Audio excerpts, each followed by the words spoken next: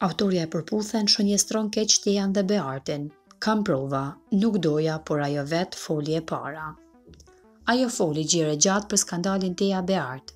Olsa deklaroi se fjalët që janë thënë nga Tea dhe Andi, se si produksioni i ka detyruar për të gjitha, nuk janë të vërteta.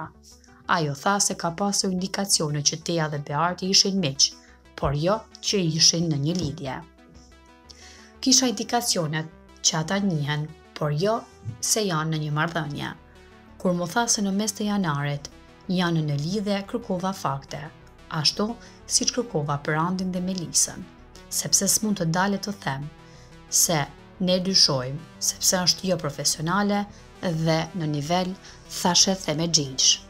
Unë kam disa fakte që s'i kam bërë publike sepse s'doja të dëmtoja Tean. Asaj i plasi në duar një bombë dhe filloi të kërkonte fajtor. Dhe ne ishim preja më e lehtë. Duke kërkuar prenë tek ne, ata menduan se do dalin të larë, por nuk ndodhi kështu.